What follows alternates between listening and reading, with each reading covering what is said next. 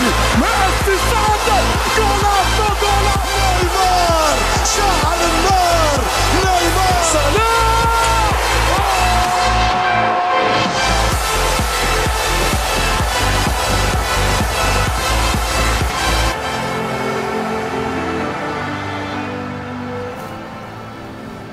مشاهدينا الكرام أهلا وسهلا بكم في حلقة جديدة من برنامجكم الرياضة اليوم والذي نناقش من خلاله أبرز الأحداث الرياضية في العالم. لكن قبل أن نبدأ حلقة اليوم دعونا نتابع أبرز محاورها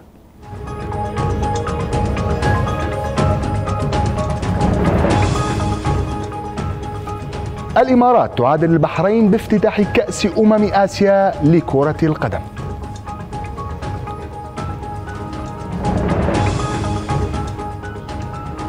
ريال مدريد يستقبل سوسيداد وبرشلونة بضيافة ختافي في الليغا.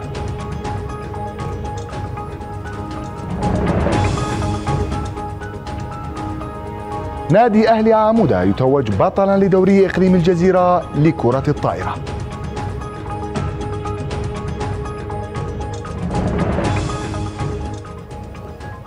مساء الخير مشاهدينا الكرام مساء الخير سومر مساء الخير. افتتح منتخبا الإمارات ومستضيفة البطولة والبحرين شريط افتتاح مباريات بطولة كأس الأمم الآسيوية لكرة القدم والتي انتهت بتعادل الفريقين بهدف لهدف ضمن نطاق منافسات المجموعة الأولى.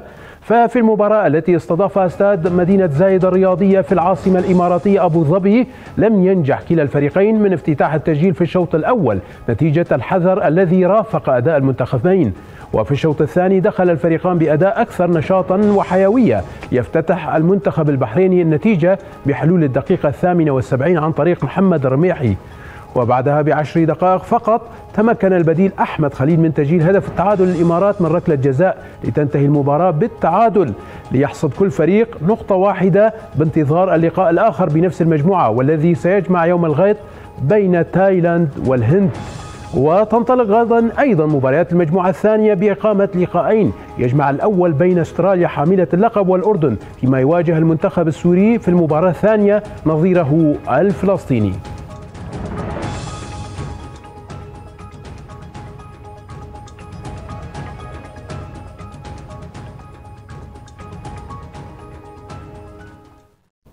تعادل بين الإمارات والبحرين بافتتاح بطولة كأس آسيا 2019 والتي تستضيف الإمارات العربية المتحدة آه، بهدف لهدف. نعم المنتخبان قصا شريط الافتتاح ب- ونال كل فريق نقطة واحدة أول نقطة لكل آه، فريق.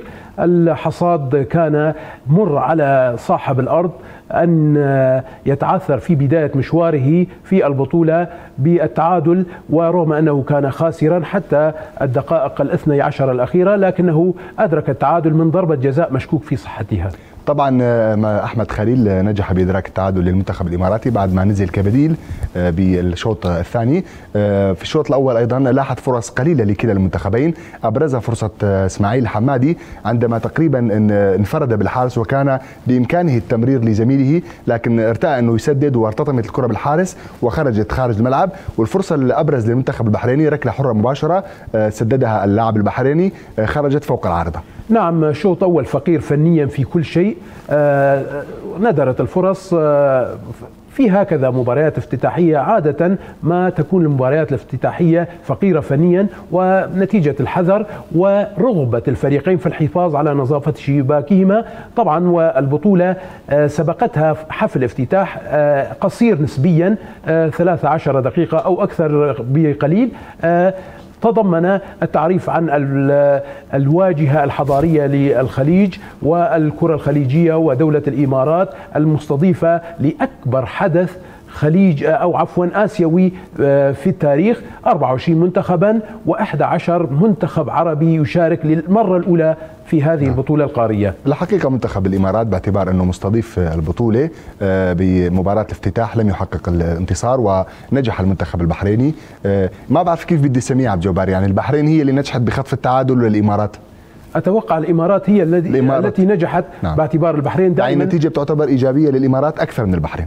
طبعا خطف التعادل من المنتخب البحريني الذي مدربه كان يتمنى فقط أن أن ينجو من هذه المباراة الافتتاحية لينافس بقوة على صدارة المجموعة الأولى. باعتبار إنه بقية المنتخبات بعتقد تايلاند والهند بإمكان منتخب الإمارات تخطي هذان المنتخبان، طبعا ستجري هذه المباراة استكمالا لمباريات المجموعة الأولى، الجولة الأولى للمجموعة الأولى يوم الغد، طبعا يوم الغد أيضا سنشهد المباراة الأولى للمنتخب السوري عندما يواجه منتخب فلسطين. نعم المنتخب السوري في مواجهة أتوقع ستكون سهلة نسبيا بمواجهة المنتخب الفلسطيني الذي آه، يظهر للمرة الأولى في المسرح الآسيوي. طبعا المنتخب السوري يمتلك لاعبين آه، يعني على مستوى عالي كالنجم الهداف عمر السومة والهداف وأفضل لاعب في آسيا سابقا عمر خريبين. آه، بإمكان المنتخب السوري تخطي منتخب فلسطين إذا نجح اللاعبين ونجح المدرب بخلق توليفة يعني يقارع من خلال منتخب فلسطين لكن فرق الإمكانيات بعتقد المنتخب السوري أقرب. نعم رغم التصريحات آه، المدرب الفلسطيني الجزائري نور الدين ولد العلي آه، قال أنه لن يكون ضيف شرف على البطولة ولكن هيهات وشتان ما بين نسور قاسيون مستوى نسور قاسيون وأيضا المنتخب الفلسطيني وذكرنا في حلقة الأمس إن مجرد آه، مشاركة المنتخب الفلسطيني في هكذا بطولة هو إنجاز بحد ذاته للكرة الفلسطينية. طبعا حتى النجم عمر السومة بتصريحات بالمؤتمر الصحفي اللي سبق المباراة تحدث عن التنظيم المميز لدولة الإمارات لبطولة أمم آسيا وحتى وصفها بأنها أجواء مشابهة لأجواء آه، كأس العالم. أتوقع هو وصف مبالغ فيه آه، لأنه هو لم كاس العالم ولم يشارك آه، نعم شاهدنا حفل افتتاح آه، أسطوري لكأس العالم في روسيا 2018 بينما هلا ذكرنا أن الافتتاح كان متواضعا نسبيا ولكن معبرا عن الكرة الآسيوية لأن الافتتاح في القارة الآسيوية دائما لا يتجاوز الربع ساعة تقريبا. نعم. توقعاتك عبد الجبار لمباراة سوريا وفلسطين؟ أتوقع الفوز سوري وب فارق آه، هدفين أو ثلاث. نتمنى هذا الشيء. المباراة الأخرى أيضا عبد الجبار ستلتقي أستراليا مع الأردن بمباراة أقرب لحامل اللقب. هي قمة مباريات المرحلة في المجموعة نعم. الأولى الجولة الأولى من المجموعة الثانية. المنتخبان جاهزان تماما لل ورغم أن المنتخب الإسرائيلي هو الأقرب للفوز نظريا طبعا. نعم يعني هل بإمكان المنتخب الأردني مفاجأة الكنجر الأسترالي؟ بإمكاني كل الأوراق غامضة حتى الآن. سنشاهد فقط آه، بمجرد رؤيتنا للمنتخبات ومشاهدة المباريات الأولى للمنتخبات سنعرف مستوى كل الفرق سواء كانت جيدة أو نعم. متوسطة. شاهدنا المنتخب الإماراتي ظن الجميع أن المنتخب الإماراتي سيحقق الفوز. سيحقق الفوز على المنتخب البحريني ولكن دائما المواجهات الخليجية نعم. ما تحفل بالتعادلات. طبعا تغطيتنا مستمرة للحدث الأبرز اللي هو بطولة أمم آسيا بالأيام القادمة. ننتقل للمحور الثاني بحلقة اليوم. اللي هو الدوري الإسباني ولكن بعد الفاصل.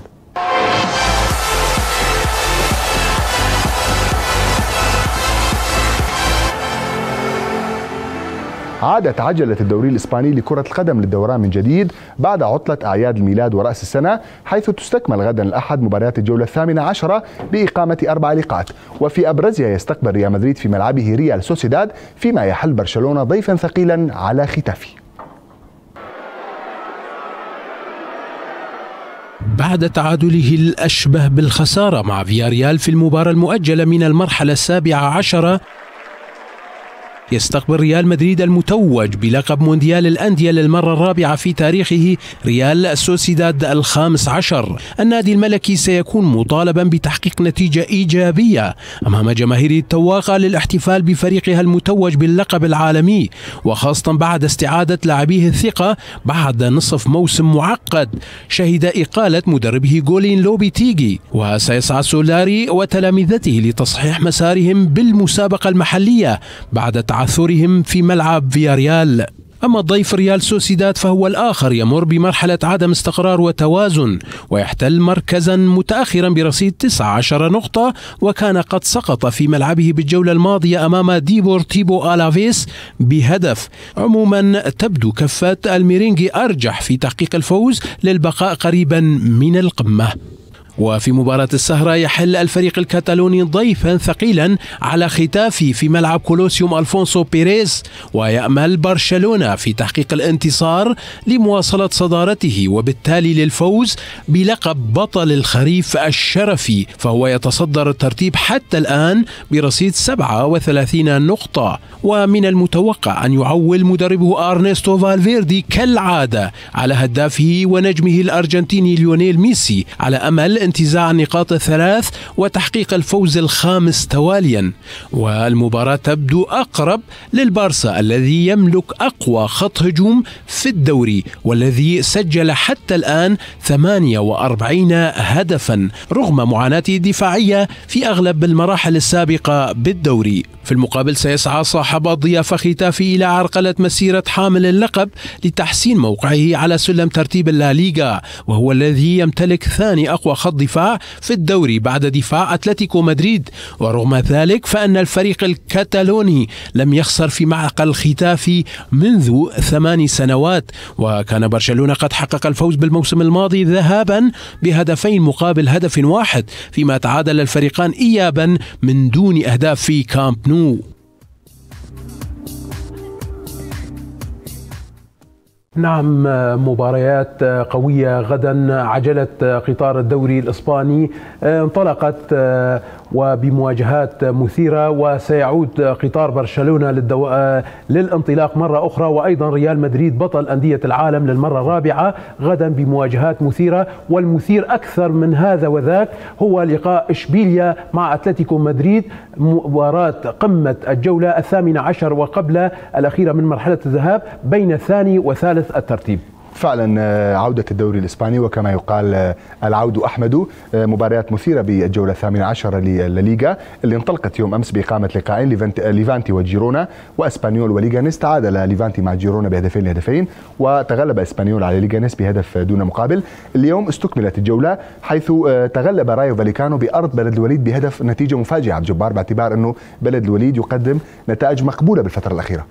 والله الجولات الأخيرة للبلد وليد آه، متعثرة جدا ودائما آه، ما كان في بداية آه، مجيء رونالدو واستلامه الدفة أو أن أصبح مالك لنادي بلد وليد. قدم مباراة مميزة مع ريال مدريد ولكنه بعد ذلك خف فريقه وأصبح يخسر وخسارته مع رايو فاليكانو متذيل للترتيب وأحد فرق المؤخرة. خير دليل على ذلك. أيضا نعم. إسبانيول استعاد توازنه توازن وزنه وحقق فوزا على ليغانيس بهدف مقابل لا شيء. طبعا النتيجة الأبرز لمباراة اليوم هو فوز ألفيس على فالنسيا بهدفين لهدف ليرتقي ألفيس مؤقتا إلى المركز الرابع برصيد 31 نقطة. خطف المركز الرابع مؤقتا من ريال مدريد بانتظار مباراة الريال يوم الغد. نعم نتيجة آه، منطقية قياسا على آه، حالة الفريقين في هذا الموسم. باعتبار آه، ألافيس ينافس على بصراحة ينافس على لقب الدوري. كان في المراحل السابقة في المركز الثاني ثم الثالث والرابع ولكن فالنسيا في المراكز المؤخرة في هذا الموسم آه، رغم أنه لعب دوري الأبطال والآن سيلعب في الدوري الأوروبي. فعلا تراجع آه، مخيف بمستوى خفافيش فالنسيا. آه، نتحدث عن مباريات يوم الغد اللي كما رأينا بالتقرير ستشهد أربع لقاءات. أبرزها لقاء ريال مدريد وريال سوسيداد وختافي مع برشلونة وأيضا إشبيليا مع أتلتيكو مدريد. أبرزها إشبيليا أتلتيكو مدريد. نعم إشبيليا وأتلتيكو مدريد من أبرز اللقاءات. طبعا مباراة اشبيليا واتلتيكو مدريد بين الثالث والثاني. طبعا تعثر الفريقان لمصلحة آه، المتصدر برشلونة وسيقدمان هدية لبرشلونة في حال آه، تعادلهما وفوز أحدهما على الآخر سيعني اقترابهما أو تذليل الفارق مع برشلونة. طبعا برشلونة يغرد في الصدارة برصيد 37 نقطة يليها أتلتيكو مدريد 34 نقطة ومن ثم اشبيليا 32 نقطة. أيضا ريال مدريد في مواجهة بعتقد لن تكون سهلة أمام ريال سوسيداد. نعم آه، لكن مركز سوسيداد وهو يقدم مستويات متواضعة وريال مدريد منتشي بعد عودته من الإمارات بلقب كأس العالم للأندية للمرة الرابعة. ولكنه تعادل فعلا تعثر في المرحلة الأخيرة كان متقدما نعم. آه، بهدفين مقابل هدف واحد ولكن هفوة دفاعية كلفت آه، الميرينجي خسارة نقطتين. كان سيحصد النقاط الثلاث. مع ذلك أتوقع أن ريال مدريد سيكون في الموعد ويحقق الفوز. نعم برشلونة أيضا سيحل ضيفا ثقيلا على ختافي الفريق المدريدي الصغير. باعتقادي برشلونة بقيادة ليونيل ميسي يعني عم يبدع ليس فقط في هذا الموسم أو يعني بالمواسم الماضية أيضا. نعم برشلونة يتصدر الترتيب. بفارق ثلاث نقاط. بفارق ثلاث نقاط عن أقرب مطارديه وسيعول كالعادة على نجمه ليونيل ميسي هداف الليغا حتى الآن أيضا كان في الموسم الماضي هداف الدوريات الأوروبية وهذا الموسم يحتل هداف الليغا ب 15 هدفا وأيضا آه، يلعب مع ميسي آه، نجوم بارزين كسواريز. طبعا برشلونة بامكانه الخروج من المباراة بالنقاط الثلاث باعتبار فارق الامكانيات كبير بين برشلونة وبين آه، ختافي أيضا مباراة أخرى بين إيبار وفيا ريال فيا ريال اللي خطف نقطة ثمينة من فم النادي الملكي بتعادله معه بهدفين لهدفين. وإيبار عادة ما يحقق بعض النتائج المفاجئة كفوزه على آه، آه، ريال مدريد. نتذكر فوزه نعم. على ريال مدريد. أحيانا يفاجئ هذا النادي الصغير نسبيا بالمقارنة مع الأندية العملاقة في إسبانيا. آه، فقط نشير أن برشلونة لم يخسر منذ ثماني سنوات في معقل ختافي. غالبا ما كان يحقق برشلونة الفوز في ملعب ختافي. نتصور في الموسم الماضي تعادل برشلونة في كامب نو لكنه فاز في ملعب ختافي. طبعا المباراة أقرب بشكل كبير لبرشلونة. الفارق بين برشلونة وريال مدريد عبد الجبار هو سبع نقاط. هل ممكن أن نرى ريال مدريد في الجولات القادمة آه، يستطيع منافسة برشلونة رغم الفارق الكبير؟ أداء فعلا أداء ريال مدريد محير لجميع مرة فوق ومرة تحت. نعم. آه، بعد عودته من آه، كأس العالم وحلوله في المركز الأول وتتويجه بلقب العالمي عاد ليتعثر من جديد أمام فيا ريال نعم. طبعا الحديث يطول آه، عن الدوري الإسباني. غدا أيضا سنتابع الدوري الإسباني. ننتقل إلى ملف الكرة الطائرة في إقليم الجزيرة ولكن بعد الفاصل.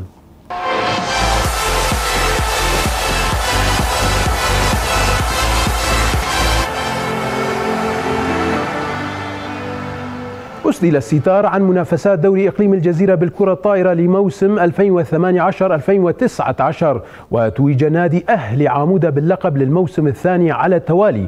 ففي صالة الرياضية بعامودة وبحضور جماهيري كبير تقدمهم مسؤولو هيئة الشباب والرياضة والاتحاد الرياضي في إقليم الجزيرة. جدد نادي أهل عامودة الفوز على جاره نادي الاتحاد بثلاثة أشواط نظيفة. وبعد نهاية المباراة تم توزيع الجوائز على الفرق الفائزة بالدوري حيث توج نادي أهلي عمودة بالمركز الأول. تلاه نادي الصناديد بالمركز الثاني. فيما احتل نادي الأسايش المركز الثالث. كما نال اللاعب كاوا صلاح من نادي أهلي عمودة جائزة أفضل لاعب في الدوري.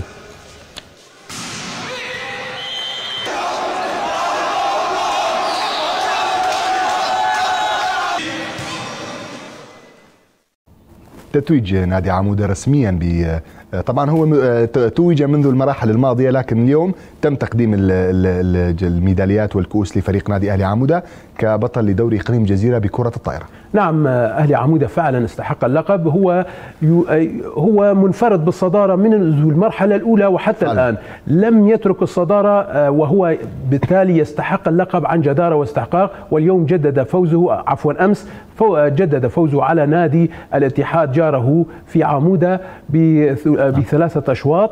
آه، طبعا أهلي عمودة وأيضا نال آه، لاعبه كاوا صلاح لقب أفضل لاعب في البطولة. رغم هيمنة نادي أهلي عمودة على بطولة آه، دوري الإقليم لكرة الطائرة عبد الجبار يعني إلا أن الغريب بتوزيع الجوائز الفردية عبد الجبار هو نيل كاوا صلاح فقط لجائزة أفضل لاعب وباقي الجوائز ذهبت للاعبين في أندية أخرى.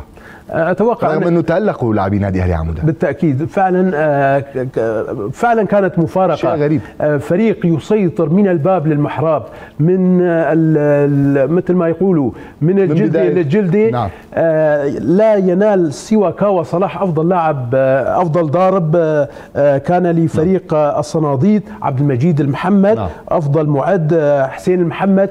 وصناديق طبعا المركز الثاني. أيضا لهم كل التحية والثناء باعتبارهم نالوا المركز الثاني. لولا خسارتهم مع أهلي عمودة لكان لهم آه، منافسة جدية مع نعم. نادي الأهلي عمودة. نعم يعني كما تفضلت عبد الجبار أفضل معد حسين المحمد من نادي الصناديد.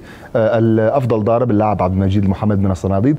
اللاعب المثالي ناله اللاعب فرهاد شحادة لاعب نادي الأصايش. أفضل ليبرو اللاعب جوان يوسف من نادي برخدان يعني المقصود عبد الجبار إنه رغم إنه نادي عمودة يسيطر على بطولة اقليم اقليم الجزيره لكرة الطائرة من الباب إلى المحراب كما تفضلت من الجدة للجلده لكن الجوائز الفردية ذهبت لكاوا صلاح فقط كأفضل لاعب.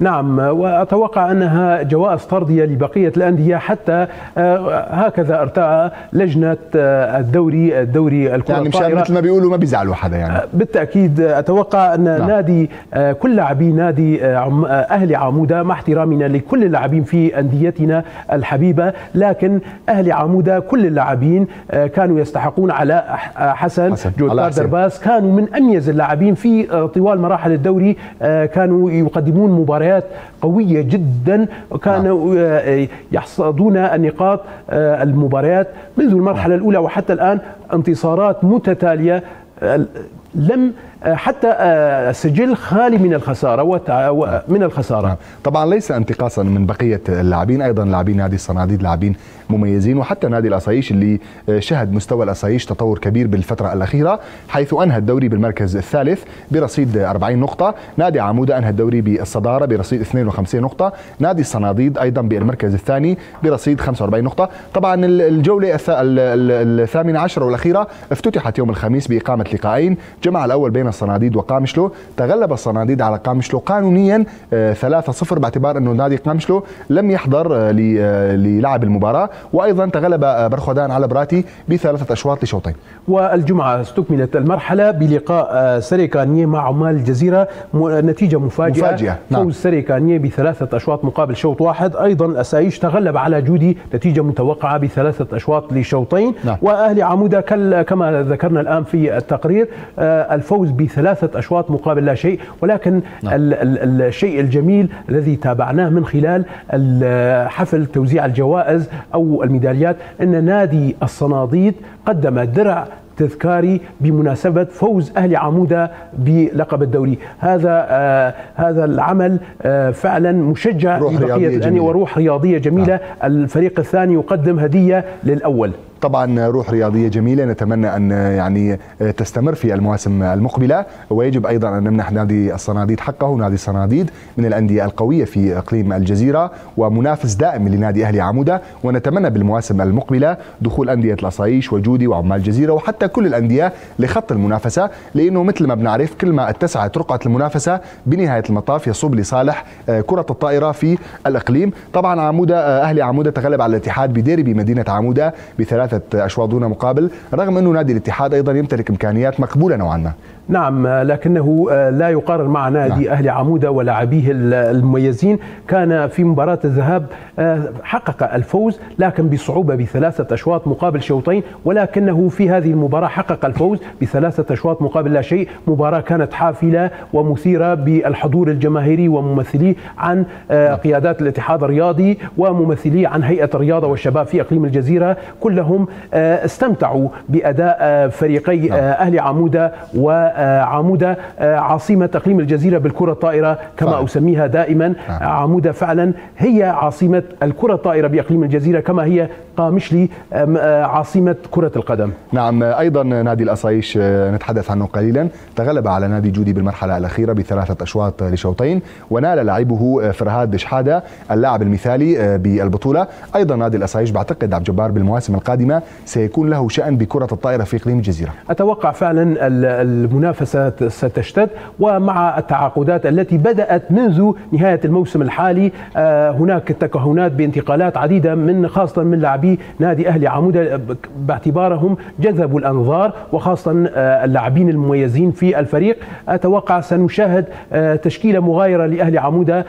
نتمنى أن الوصول للقمة صعب والحفاظ عليها أصعب. صالح. نتمنى لأهلي عمودة ولبقية الأندية التوفيق وتدعيم خطوطها بلاعبين مميزين مميزين آه، أمثال كاوا صلاح وجودكار وعلاء علاء من العمالقة الذين يلعبون ووجوده في دوري الإقليم مكسب لكل اللاعبين بصراحة. طبعا آه، يعني آه، توزع لاعبي نادي أهلي عمودة على الأندية الأخرى سيعني يضفي على المنافسة روعة أكثر وجمالية أكثر باعتبار أنه ستزداد رقعه المنافسة بنهاية المطاف ألف مبروك لنادي أهلي عمودة ولكل القائمين على هذا النادي اللي بالحقيقة يمثل آه، بقوة كرة الطائرة في الشمال السوري وفي إقليم الجزيرة. ومرحى لبقية الأندية وخاصة الصناديد والأسايش وعمال الجزيرة وغيرها من الأندية. نعم. فعلا كانت في الموعد وقدمت موسم آه، مثالي آه، وتوج بنهايته أهلي عمودة. نبارك له.